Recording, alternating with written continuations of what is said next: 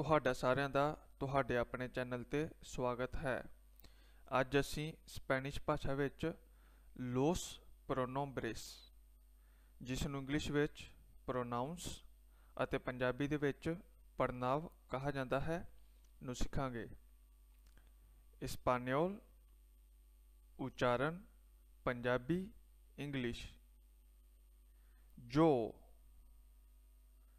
ਜੋ ਮੈਂ, ਆਈ, ਮੈਨੂੰ ਸਪੈਨਿਸ਼ ਭਾਸ਼ਾ ਵਿੱਚ ਜੋ ਕਿਹਾ ਜਾਂਦਾ ਹੈ, ਤੂੰ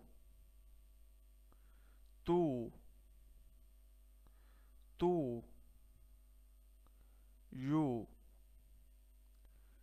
ਸਪੈਨਿਸ਼ ਭਾਸ਼ਾ ਵਿੱਚ ਤੂੰ ਨੂੰ ਤੂੰ ਹੀ ਕਿਹਾ ਜਾਂਦਾ ਹੈ।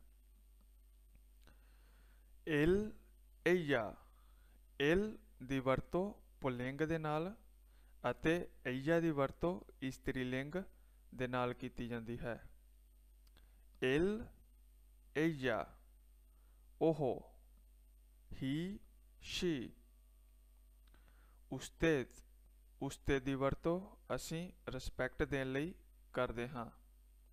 ਉਸਤੇਦ ਉਸਤੇਦ, ਤੁਸੀਂ ਯੂ ਨੋਸੋਤਰੋਸ ਦੀ ਵਰਤੋਂ ਪੁਲਿੰਗ ਦੇ ਨਾਲ ਅਤੇ ਨੋਸੋਤਰਾਸ ਦੀ ਵਰਤੋਂ ਇਸਤਰੀ ਲਿੰਗ ਦੇ ਨਾਲ ਕੀਤੀ ਜਾਂਦੀ ਹੈ ਨੋਸੋਤਰੋਸ ਨੋਸੋਤਰਾਸ ਅਸੀਂ ਵੁਈ ਵੋਸੋਤਰੋਸ ਵੋਸੋਤਰਾਸ ਵੋਸੋਤਰੋਸ ਦੀ ਵਰਤੋਂ ਪੁਲਿੰਗ ਅਤੇ ਵੋਸੋਤਰਾਸ ਦੀ ਵਰਤੋਂ ਇਸਤਰੀ ਲਿੰਗ ਦੇ ਨਾਲ ਕੀਤੀ ਜਾਂਦੀ ਹੈ। ਤੁਸੀਂ you ellos ellas ellos ellas ਦੀ ਵਰਤੋਂ ਬਹੁਵਚਨ ਦੇ ਨਾਲ ਕੀਤੀ ਜਾਂਦੀ ਹੈ।